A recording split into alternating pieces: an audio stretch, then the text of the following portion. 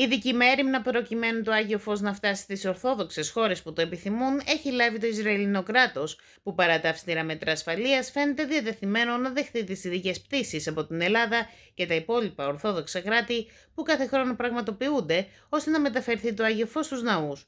Σύμφωνα με δημοσίευμα της Jerusalem Post, το οποίο επικαλείται πηγές της στο Ισραηλινό Υπουργείο Εξωτερικών, παρά τα αυστηρά μέτρα ασφαλείας που επικρατούν στη χώρα, το θέμα της μεταφοράς του Αγίου Φωτός θεωρείται λιγμένο. Ο ακριβής μηχανισμός της τελετής δεν έχει ακόμη εκπονηθεί, δήλωσε η πηγή του Υπουργείου Εξωτερικών, επειδή το Υπουργείο Υγείας μπορεί να θέσει περισσότερους περιορισμούς, αλλά έχουν ήδη οργανωθεί πτήσεις για να φέρουν το φως στη Ρωσία, την Ουκρανία, την Ελλάδα, αναφέρεται χαρακτηριστικά. Σύμφωνα με το ίδιο ρεπορτάζ, η τελετή θα γίνει κανονικά στον Πανάγιο Τάφο ενώπιον 10 με 15 εκπροσώπων από τα χριστιανικά δόγματα και εν συνεχεία το Άγιο Φως θα μεταφερθεί με αστυνομική συνοδεία στο αεροδρόμιο του Τελαβίβ, όπου θα διανεμηθεί στις αντιπροσωπείες, τις οποίες όμως δεν θα επιτραπεί να αποβιβαστούν στο Ισραηλινό έδαφος για τη διατήρηση της καραντίνας.